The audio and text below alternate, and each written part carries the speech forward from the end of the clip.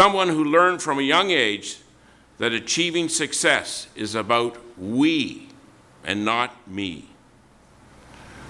So I'm very pleased to say, in joining the Moncton Wildcats, our new General Manager and Director of Hockey Operations, Taylor MacDougall. Taylor.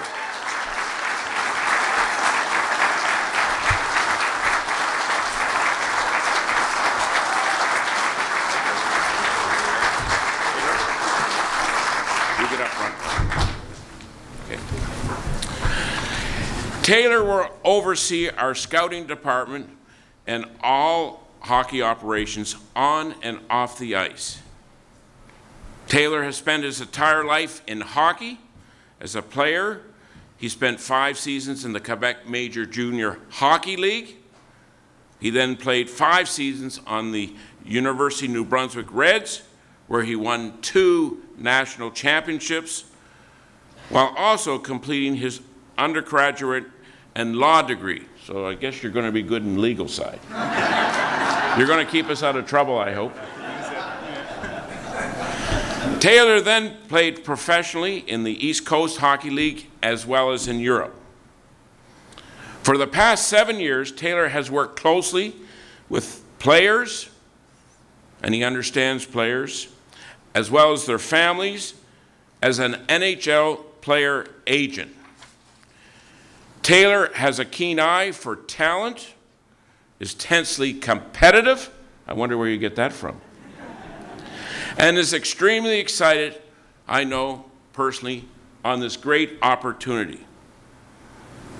Please give me a big Moncton welcome to Taylor MacDougall.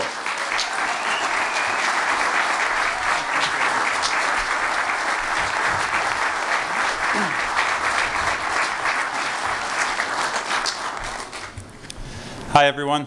I want to thank you all for joining us today and first acknowledge and offer my condolences on the passing of the late, great Mr. Arthur Irving.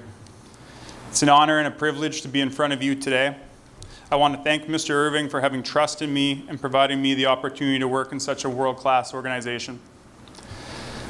As a proud New Brunswicker, having the chance to work and continue to build upon the Moncton Wildcats' sterling reputation is a thrill of a lifetime.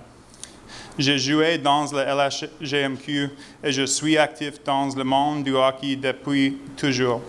C'est un immense honneur pour ma famille et, moi d'avoir l'occasion de revenir dans notre province d'origine et de travailler pour une organisation formidable.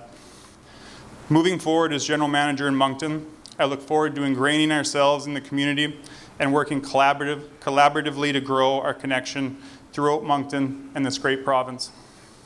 The Moncton Wildcat brand is one that is recognized across North America and it is a great responsibility to uphold and expand upon that brand.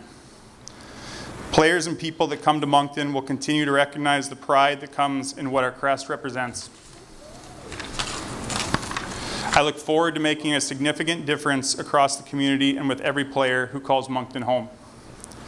I recognize, I recognize the expectations are high, but our expectations of ourselves are even higher.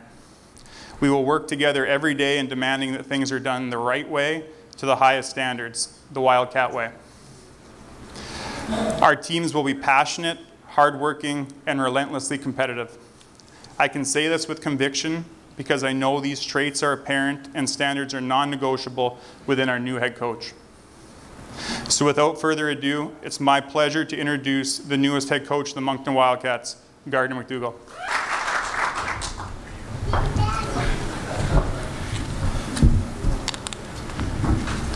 I had to check uh, 17 hours, 22 minutes. Shortest retirement in hockey history.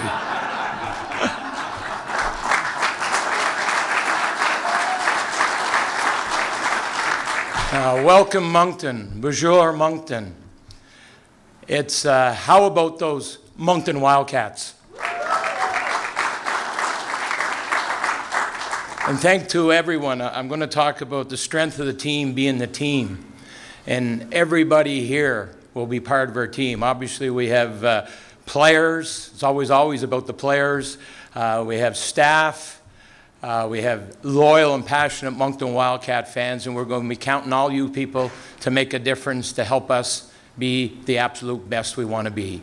I always talk about best, about being simple. Uh, we certainly know nationwide uh, Mr. Irving's passion for being the best. I simulated uh, best being better every single time. And every time we get a chance to, we meet, you people meet, we're always going to be trying to get better, and that'll be the standard of our organization moving forward. Uh, to get to this position, things happen quickly in the hockey world. And I have extreme gratitude uh, for what Mr. Robert K. Irving has done. I, I can't, I said, there's probably one person in New Brunswick, there's one person in the Quebec Maritime Hockey League, there's one person in all of Canada that could pull it off, what he just did. And uh, he's sitting right here. So let's get a big hand for Mr. Irving.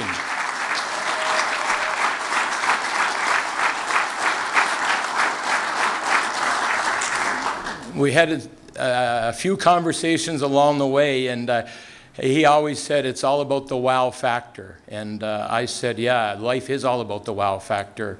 And we're fortunate to be in the hockey world. We've had a lot of wow moments the last few years. And uh, you wake up in the day and you say, wow, that is significant. The first time I got the chance to meet him, and he took me through the dressing room and the facilities here, I said, wow, unbelievable. And then he went through his vision where he wants to take the Moncton Wildcats. And I was just humbled and I said, wow. And then when he had the opportunity where I could be involved with the staff selection and help him out uh, to choose uh, the next general manager of our hockey club, and Taylor MacDougall was the choice, I did a double wow. yeah, it's outstanding. So for Mr. Irving, I, I can't thank you enough, and uh, we're uh, enthusiastic, energized to certainly make a difference. I'm fortunate for the last 24 years at the University of New Brunswick, uh, we had a motto. I've kind of stole it as my own personal motto, is to make a significant difference in everyone that you meet and everything you do. And uh, that'll be my goal going forward, to make a difference, first of all, for Mr. Irving, for the Moncton Wildcats, Bigger still for the city of Moncton and all our Moncton Wildcat fans. I've been really, yeah.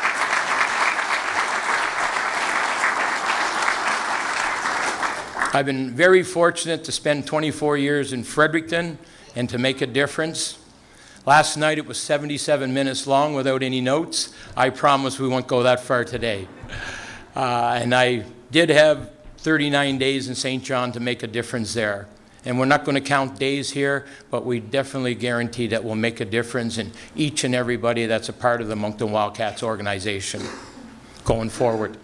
Uh, just a couple of things before I go. Uh, the city of Moncton has been very significant in my life, and a lot of people wouldn't know that. Uh, in July of the year 2000, I was in the Pas, Manitoba. I took a flight from the Pas, Manitoba to Moncton, New Brunswick. And my sister, Catherine, who's been a longtime resident of, the, of Moncton, picked me up at the airport, and it's great to see her. Give her a shout out right back there. Excellent. And also great to see a nephew and a former captain of the Moncton Wildcats, Stevie Johnson. Give him a hand as well, second time. She picked me up, and I was on my way to start my career in Fredericton. I have no idea why I arrived in Moncton, but maybe there was destiny 24 years ago that I'd end up here sometime. I, I drove to Fredericton. I was there 24 years. A significant Moncton. My first AUS victory was against the University of Moncton under Charlie Bourgeois was a coach. We had lost our first two games. In fact, we got pounded seven to one at our second game, and I wondered where is this career going to go. I watched the warm up for the, the Blue Eagles. I came into my office. I looked at my schedule and I said, I may not win a game in this league. They look like unbelievable. Anyways, we found a way to win. Moncton was significant. That was my first win. My last win in the AUS was a playoff game in late February, early March at the J. Louis Levesque Arena against the Moncton Blue Eagles. They are probably, Derek Cormier sent me a note today. He says, thank God you left. so we're looking forward to being part of Moncton. Uh, in 2006, uh, Mr. Irving and the Wildcats hosted the Memorial Cup. And as a young, inspiring coach, I knew that Moncton was going to host the national championships the next year. So as a coach with a vision to want to try to win one of those national championships, I bought tickets. I was front row behind the opponents, and I watched every game, twofold. Taylor was 15 years old. He's going to get drafted to the Quebec Major Junior League the next year. So I wanted to get him an idea what the Major Junior was all about. But more importantly, I wanted to put my vision to be behind the visitors' bench when Moncton hosted the national championships the next year. I watched all the games. Obviously, it was a heartbreaker at that time for the Wildcats to lose the final, but right now, it's the standard of our organization. And uh, sometimes you got to get to those finals to figure them out. And Moncton's got to that final. My first three finals, we only won one. The next year in 2007, at the Coliseum, uh, the vision tru- uh, proved true. I got to be behind that visitors' bench in the national final. and was one of the greatest national finals of all time. Uh, the Blue Eagles and the Varsity Reds at that time, two New Brunswick teams playing for the national championship. Fortunately, we were one goal better. We hadn't beat them all year. We didn't have the lead all year, but we found a way at the end to be one goal better, and our program's gone certainly significantly since then. But we had great opponents by the Blue Eagles to help us there. You learn things when you're in a national final. As I said, we lost two of our first three. We've been in 10 national or world championship finals since, and we've been fortunate to win 9 out of 10. So, Mr. Irving, if we can get to the national final, bet on the Wildcats, baby.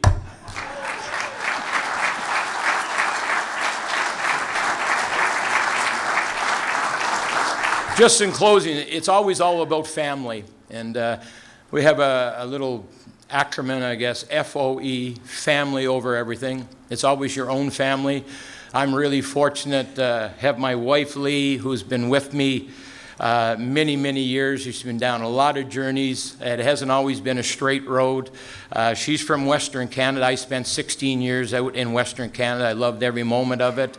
And somehow I brought her back for a year to Fredericton. I say, let's just try it for a couple of years. And we've been here 24 years now. We've been finally, I think we can call her a maritimer, full fledged maritimer. Uh, but I can't say enough of what she's done. She's allowed me to pursue my career and uh, way too much time at the arena. We've been fortunate uh, to raise two children. Uh, my daughter Madison, who's a teacher in Fredericton, uh, came to UNB, got three degrees at UNB, and finally figured out what she wanted to do. And uh, I can't be more excited uh, for Taylor, what he's accomplished in his career, and to have the opportunity to work with your son. in the best organization in junior hockey in Canada is a miracle, a dream come true. If you asked me a week ago if was going to happen, I'd say you must be smoking something. but uh, it is reality, and I'm just looking forward uh, to the, the family. It's great to see Kelsey, that's Taylor's wife, and uh, granddaughter Lily. Uh, it was one of the different moments when I was called a granddad a couple of years ago. Uh, Pat is my uh, father in law. It's great to see him as well here. So, always family over everything. Shout out MacDougall family.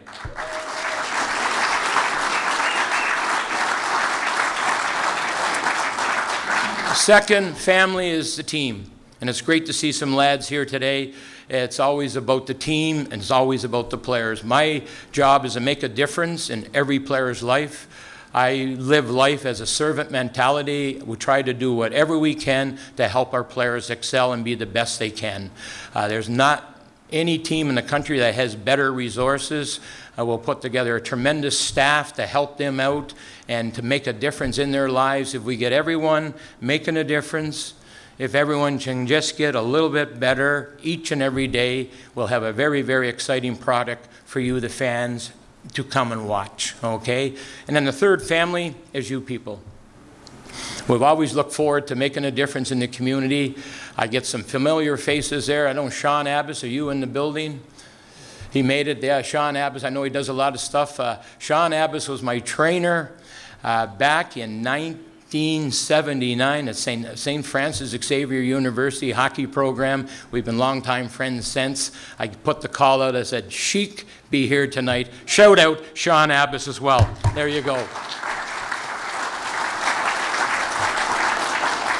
I look forward uh, to meeting each and every you, every one of you as, as we move forward here. It's exciting time. There's lots of work to do as we move forward here, but I couldn't be more excited for the opportunity ahead of us. I, I told Mr. Irving it's all about JGS, and Mr. Irving says, how's that JGS work? I said, well, it's very simple. It's just three words that make a difference in your life. I said the first word starts with J and it ends with T, and it only has four letters and he made four choices. He went for 0 for 4. I said, the first word is just, and I said the second word in the middle has a G at the front, a G at the end, has two T's in the middle, and it has eight letters. He says, I'm going to have to ask my son. and I said, We asked the son, he went 0 for 2. So I'm 0 for 6 in the Irvings, but you know, it's not about academics here all the time. Okay, so just getting and then I have, yeah, right here, I said, starts with S, it has ED at the end. What would it be? And what would you say? You got it. Okay, just getting started. I don't know. Yeah, he's got it. Tell me what that means in French. Started? Just getting started. Say it a little louder. I'm going to have to learn that, baby. Here we go. So, hey, we are. We are just getting started. Thank you for everyone coming, and it's a, a real, it's a lifetime opportunity. I went to UNB 24 years ago. I said that was my NHL. I got a chance to come to the Moncton Wildcats. I tell you what, this is certainly our NHL. So we're really looking forward. JGS, baby, thank you very much.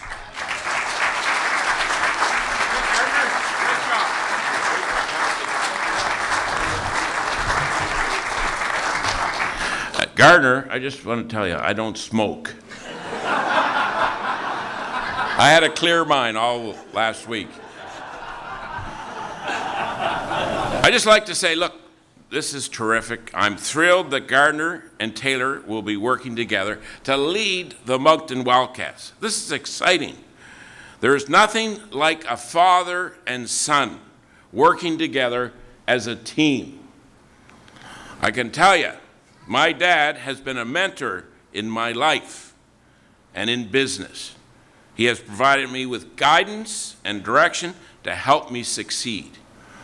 And I talk to him every night, and he's my inspiration. And I know, Taylor, your dad's your inspiration. And this is a special moment for a father and son together to do great things here in Greater Moncton. And RJ, Watch out. I know this is a unique opportunity for Taylor and Gardiner to begin this new era, and I say a new era. Together, they both believe that it takes a team to win. And Gardiner, when he was talking to me over and over again, it's the team, okay? And we got to all be in one together. And to me, that's what it's all about. If you're going to be successful, you're going to win a championship, we all got to be together. So I'm very excited that we begin this journey today. And it's great to have them both in places as we prepare to host the upcoming Quebec Maritime Junior Hockey League draft in June. And we want to make sure it's a show, put Moncton on the map, which is such a great city. I want to personally welcome you to our organization, and to our great community. I know our fans, and you're out there, aren't you? We got great fans, okay? Our know our fans will be excited by the dynamic, fast paced, competitive, and I can say competitive, and most importantly, a winning style of hockey. And I know our friend here, Gardiner, is a very humble person. He doesn't talk about his championships. but it speaks for itself. He's a leader, he's a winner, and he's done great things with the players he's had around him. And he would give all the credit to the team, the players. So, Gardiner, I know you're great in motivating and especially motivating your players. And I know they're going to be excited to have you as our head coach. And Taylor, I know you got an eye for talent and putting together the team to allow us to go on to great things and to win a championship. I'm looking forward to working with both of you. So let's give them a big round of applause. Thank you.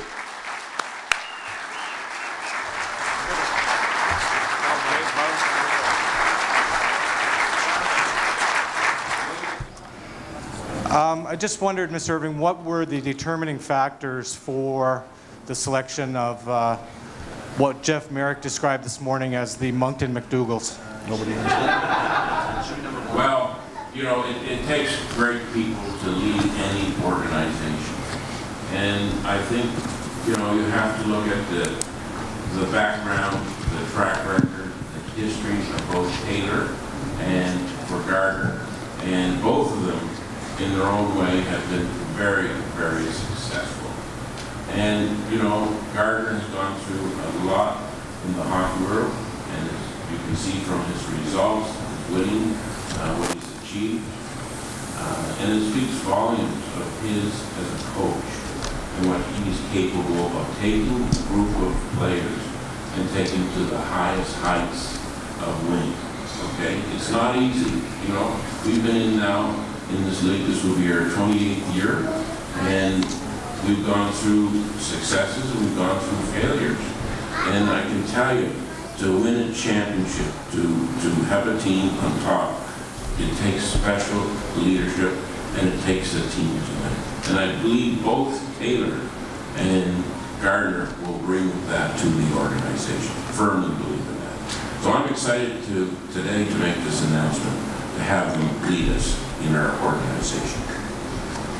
Uh, just a follow to Taylor. Um, last night, uh, Gardiner, during his address, talked about your playing career and that it was the toughest job for a player uh, who is the coach's son is being on being on the team. But now here you are as a tandem. I just wondered how your own emotions and, and kind of the process went for you and how you're feeling on this day uh, to be beside your dad. Yeah, he didn't know this was coming when he said that, eh? But no, there, there's a lot of excitement, and I think um, obviously that's a unique dynamic. But if if you look at successful, successful teams, successful organizations, it's all about people being on the same page and, and collaborating and and trying to be the best they can at their roles. And I think that's maximized when people do have a have that trust in one another, and you know that, that's obviously apparent in this case. We um, we're in step, but we also are different, so we can challenge each other, which I think is important. But having that, that trust and collaboration, I think, is will be a key for us. But I also think it's a key for any successful organization. Gardiner and uh, Taylor, maybe I'll get each of you, if you could, uh, just talk about the opportunity that, uh, that lies ahead to work together as father-son. Yeah, no, it's uh, it'll be very exciting, you know. And again, it comes back to to probably just having having equal excitement and equal passion about the process that, that's in front of us. And, and I think we both uh, we both embrace the process in different ways. We're both equally passionate about it, and I think that's I think that's important because I think when you're when the process excites you, I think the results can take care of themselves. So we're really excited about the process, and I'm excited who not just with uh, with our head coach, but with our team, with our ownership, with our entire staff. I'm really excited about that what that process looks like. Good questions. Good to see an Islander here, Jason. Um, and uh, I acknowledge to Kevin Barrett. I said, there's no way Kevin Barrett can be in a, a conference without asking a question. And uh, I was going to relate, Kevin, my first, uh, when I got the job at UNB, uh, I had come down for an interview first, and I didn't get the job the first time. And then the second time, they decided to make a change, which kind of uh, appropriately, the, the coach at UNB at that time decided to go to the Moncton Wildcats.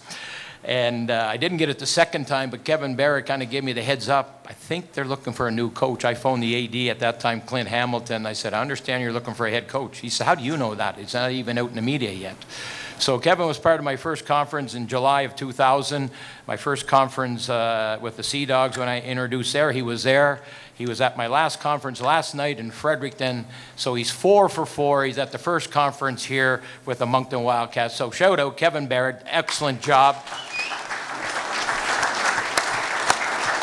I don't know if people, uh, and I just read it last night. Kevin's been a long-time reporter, and he's got the toughest job. At one time, we had four sports reporters in Fredericton alone. We had nine pages of sport. Uh, we had a couple of sports reporters here, numerous uh, sport. Kevin, for the last number of years, has done all three. He's done the Wildcats, the Sea Dogs, and the Reds. An unbelievable job, and I just realized, I just had read that he's moving on to new pastures. But I think that hopefully there's lots of freelancing for him, and we wish you all the best in your new pursuits, and you've made a difference in the sport industry. So great job, Kevin. Now going back to your question. Uh, it's just a lifetime moment. Uh, I, I, said, that, you know, with Mr. Irving when we first met about wow moments, and this is like the biggest wow moment anyone could ever have. And I've talked to several different coaches uh, throughout the country in different sports, and as one coach said, I just got chills thinking about that. And these are all prominent coaches that had sons active in sport, and just the opportunity. But I think it, it goes back to, uh, you know, Mr. Irving, I understand, makes daily calls to different people, and he had mentioned that he makes a daily call to his dad.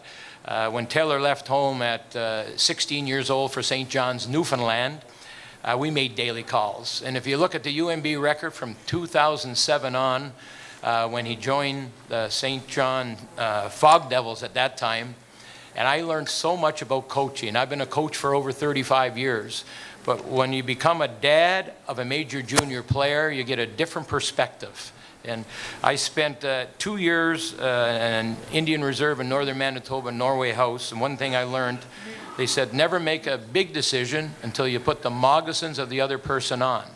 And by Taylor playing major junior hockey and then playing five years for me, 10 years of high level hockey, and then a year of pro, we'd talk on a daily basis. I got a perspective of from the player and the players' parents. And it's helped me in immensely my connection and my uh, how I deal with the players. And it's made you look at our record from 2007 on at UNB, it was a huge difference. So to be able to have him where I don't have to call him every day or he's right next door at the office, uh, we're just so excited for the opportunity. I always say one plus one, if you get the right one plus one, you can make three. We're hoping to make lots of threes. How big of a factor was that, uh, Gardiner, in your decision? Well, there's a lot of factors. I think there wasn't just one, but that's certainly the biggest. Uh, I got the two biggest factors on both sides of me he and he. And uh, he's the greatest salesman, the big, biggest recruiter. There may be the odd free agent we're after. I know when to put the phone to Mr. Irving. Uh, what do they call him? The closer, I believe. Yeah, the closer. So there's no one better in the country than uh, what he's pulled off here. So we're really looking forward to that.